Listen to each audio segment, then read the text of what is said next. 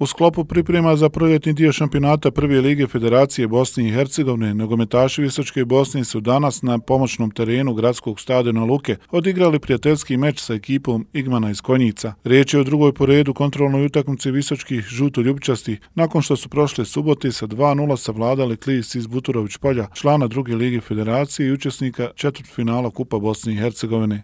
Glavno mi smo ovaj, evo već do desetak dana radimo, treniramo, skupljamo ekipu, praktično većina je novih igrača, igrača na probi, igrači koji su željeli da igraju ovdje u Bosni u ovim uslovima koji jesu.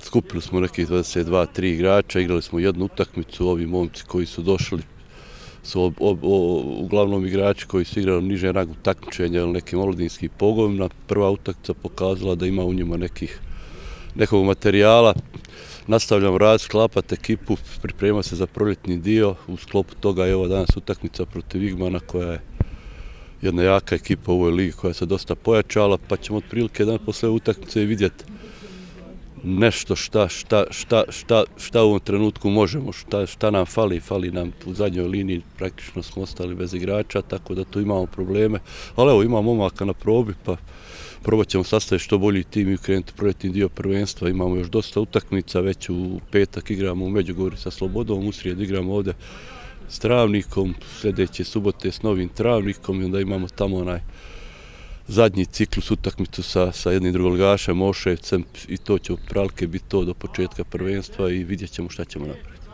Smatrate li da će biti to dovoljno da se pripremite za drugi dio e, polusezone, odnosno hoće li biti još neki igrača do kraja ovog prilaznog roka koji ističe 15. februara? Pa vrlo teško da će doći onaj nekih ozbiljnih igrač, ima tu još ovi par momaka koji su bili ovdje, koji su na probama u drugim klubovima, pa ako ne zadovolje nešto možda se i vrati. Ali uglavnom to je to što imamo, fali nam pozicija stopera i pozicija beka, ali ako ne bude nikom da ćemo krpiti sa ovim što imamo i nadam se napravi solidnu ekipu za proljetni dio.